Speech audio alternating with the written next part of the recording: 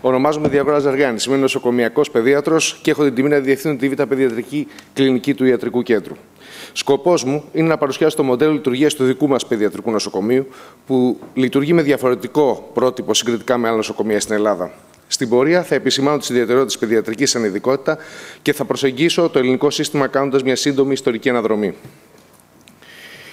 Η παιδιατρική ειδικότητα. Μια και το ακροατήριο αποτελείται από γιατρούς πολλών ειδικοτήτων, οφείλω να επισημάνω τις ιδιαιτερότητες παιδιατρικής.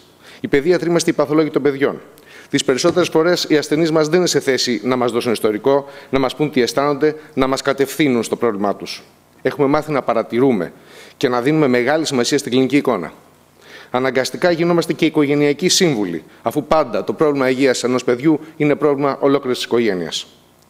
Οι παιδίατροι εκπαιδευόμαστε όπως και οι άλλοι γιατροί στις ιατρικές σχολές και κάνουμε την ειδικότητά μας σε δημόσια νοσοκομεία. Δυστυχώς, η εκπαίδευση στην ειδικότητα είναι μονόπλευρη. Ο νέος παιδίατρο είναι άριστα εκπαιδευμένος για την άσκηση παιδιατρικής μέσα σε ένα δημόσιο νοσοκομείο, δεν ξέρει σχεδόν τίποτα όμως για την πρωτοβάθμια φροντίδα. Τα νοσοκομεία που προσφέρουν εκπαίδευση είναι αυστηρά, με έμφαση στην επιστημονικότητα. Εκεί οι γιατροί έχουν τεράστια διαφορά συμπεριφοράς από τους κλασικούς παιδιάτρους των ιδιωτικών ιατρίων. Οι εκπαιδευτές, εξαίρετοι επιστήμονες, όλοι συχνά δεν έχουν το χρόνο να εξηγήσουν διεξοδικά στην οικογένεια τι συμβαίνει στο παιδί τους. Η οικογένεια δεν είναι ενταγμένη στη διαδικασία ίασης. Οι ίδιοι αυτοί οι εκπαιδευτές δεν έχουν το δικαίωμα να διατηρούν ιδιωτικό ιατρείο και έχοντας απομακρυνθεί από την άσκηση της οικογενειακής παιδιατρικής, δεν τη διδάσκουν στους νέους γιατρούς. Έτσι δημιουργείται ένα κενό στην εκπαίδευση. Καθώς οι θέσεις στα νοσοκομεία είναι περιορισμένες, οι περισσότεροι από αυτούς τους νέους παιδιάτρους αποκλείονται από την άσκηση της νοσοκομιακή παιδιατρικής. Συχνά καταλήγουν να ανακαλύπτουν από μόνοι τους τον τρόπο με τον οποίο θα ασκήσουν το επάγγελμα. Κλεισμένοι στα όρια του ιατρίου τους, πιεσμένοι από τον ανταγωνισμό, θα αναπτύξει ο καθένας από αυτούς τις δικές του πρακτικές που θα καθορίσουν το βαθμό της προσωπικής του επαγγελματικής επιτυχίας. Πολλοί άξιοι και πετυχημένοι παιδίατροι με χρόνια άσκησης παιδιατρικής έχουν απομακρυνθεί από την νοσοκομιακή έκφανση της ειδικότητάς μας. Σε αυτό συμβάλλει σημαντικά η νομοθεσία που απαγορεύει τη σύμπραξη ιδιωτών με δημόσια νοσοκομεία. Στις αρχές της δεκαετίας του 80, όπου γίνονται αλλαγές με τη δημιουργία του ΕΣΥ, καταργούνται οι μικρές ιδιωτικές κλινικές, οι γιατροί γίνονται πλήρους και αποκλειστικής απασχόλησης και οι παιδίατροι χάνουν την πρόσβασή τους στα νοσοκομεία παιδών. Το 1983 δημιουργείται το Παιδιατρικό Κέντρο Αθηνών, που κάλυψε την ανάγκη των καταξιωμένων ιδιωτών να νοσηλεύουν οι ίδιοι τους ασθενείς τους. Με εξαίρεση το Παιδιατρικό Κέντρο, η νοσοκομιακή παιδιατρική παραμένει δημόσια, ώστε το 2002 δημιουργείται η Ευρωκλινική στα πρότυπα του Αγία Σοφία. Ακολούθησε το Μητέρα με διευθυντή τον καθηγητή κ. Βαρτζόκα και τον υποφαινόμενο ως αναπληρωτή διευθυντή. Παράλληλα, δημιουργήθηκαν οι κλινικές του Μετροπόλιταν και του Ιασό. Σε εκείνη την εποχή τα ιδιωτικά νοσοκομεία λειτουργούσαν λίγο πολύ όπως τα δημόσια. Έχοντας να αντιγωνιστούν το κατεστημένο, με μόνο όπλο τις καλύτερες υποδομές, δεν αποτελούσαν ουσιαστικό αντίπαλο. Υπήρχε τότε η αντίληψη ότι τα ιδιωτικά είναι ξενοδοχεία. Και αν το παιδί έχει κάτι σοβαρό, πρέπει να πάει στο παιδόν.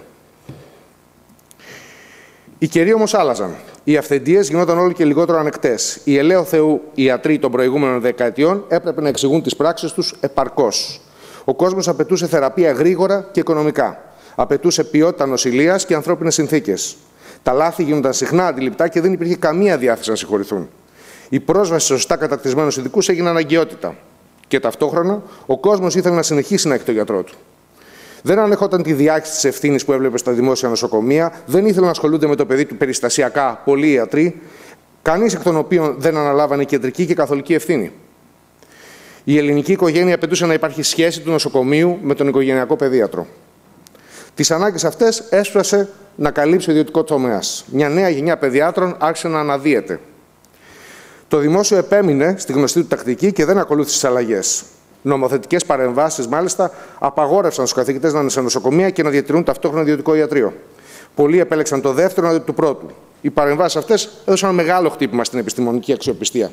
Σταδιακά, ο μύθος για την υπεροχή του δημόσιου στην παιδιατρική άρχισε να ξεφτίζει.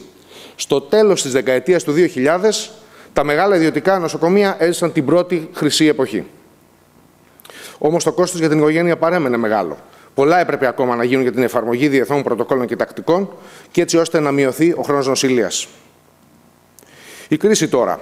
Στις αρχές του 2010 η κρίση είχε βαθύνει αρκετά, άγγιξε την πρωτοβάθεια παιδιατρική και ήταν εμφανής η μείωση των επισκέψεων στα ιατρία. Αντίθετα, η επισκεψιμότητα στα ιδιωτικά νοσοκομεία συνέχισε να αυξάνεται. Οι συνεχώς υποβαθμισμένες υπηρεσίες που προσέφερε το δημόσιο, σε συνδυασμό με τη μείωση του προσωπικού, των αμοιβών, των δυνατήτων προσωπικής εξέλιξης, κατέστησαν τις δημόσιες δομές υγείας όλο και πιο προβληματικές. Σαν αποτέλεσμα, ο κόσμος, όσοι τουλάχιστον είχαν την οικονομική δυνατότητα, ασφαλίζονται ιδιωτικά. Παράλληλα, βελτιώθηκαν οι υπηρεσίες των ιδιωτικών φορέων και έγινε σοβαρός εξορθολογισμός του κόστους. Στο Παιδιατρικό Κέντρο δημιουργήσαμε και εφαρμόσαμε ένα νέο μοντέλο που καλύπτει όλες τις ανάγκες χωρίς να χάνει από τα έως τώρα θετικά. Ε, εφαρμόζει όλες τις διαναγνωρισμένες πρακτικές, είναι οικονομικά αποτελεσματικό, είναι επιχειρηματικά συντηρήσιμο και κερδοφόρο και δίνει προοπτική στους εργαζόμενους. Επίσης, συνδυάζει τους δύο πυλώνες παιδιατρικής, δηλαδή το ιατρείο και το νοσοκομείο. Το μοντέλο που εφαρμόστηκε στηρίζεται σε μια νέα κατηγορία γιατρών, τους νοσοκομειακούς παιδιάτρους, τους hospitalists. Είναι γενικοί παιδίατροι που ασκούν την παιδιατρική κατά κύριο λόγο στο νοσοκομείο. Ο σκοπός τους είναι να παραλάβουν το παιδί, να το νοσηλεύσουν σε συνεχή συνεργασία με τον γιατρό του και να το επιστρέψουν. Για τον νοσοκομιακό παιδίατρο, η στενή συνεργασία με τον οικογενειακό είναι αυτονόητη και επιβεβλημένη. Θα ήθελα πάρα πολύ να ισχυριστώ ότι ανακαλύψαμε την έννοια του hospitalist στην Ελλάδα. Όμως πρόκειται για μια αμερικανική ιδέα και αποτελεί την πρόταση της Αμερικανικής Ακαδημαϊκής ε, Ακαδημίας για τη λειτουργία των παιδιατρικών νοσοκομείων. Έχουμε στο μυαλό μας, εδώ βλέπουμε τον ορισμό, έχουμε στο μυαλό μας τον όρο νοσοκομιακός παιδίατρο να ταυτίζεται με τον παιδίατρο που εργάζεται σχεδόν αποκλειστικά στο νοσοκομείο. Όπως βλέπετε όμως, ο hospitalist είναι πολύ περισσότερο από αυτό γιατί γνωρίζει το ίδιο καλά και την παιδιατρική σε επίπεδο ιατρίου. Η παιδιατρική από τη φύση της χρειάζεται στους νοσοκομιακούς παιδιάτρους. Παρότι, κατά την ταπεινή μου άποψη, δεν πρέπει να αποκλείονται οι ιδιώτες παιδίατροι από τα νοσοκομεία, αυτοί δεν έχουν τον χρόνο και την αντικειμενική δυνατότητα να παρακολουθήσουν επαρκώς τα παιδιά όταν νοσηλεύονται. Ο νοσοκομιακός παιδίατρο είναι ένα επιβεβλημένο εκ των πραγμάτων ενδιάμεσο. Το να γίνεις νοσοκομιακός παιδίατρος δεν είναι θέμα επιλογής μόνο, είναι και εκπαίδευσης. Πρέπει να αποκτήσεις επικοινωνιακές δεξιότητες που θα χρειαστούν στην ενημέρωση των γονέων και των συναδέλφων.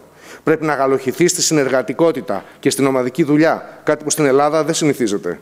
Και φυσικά πρέπει να ενημερώνεσαι και να διαβάζεις συνεχώς, έτσι ώστε να εφαρμόζεις τα τελευταία best practices της βιβλιογραφίας.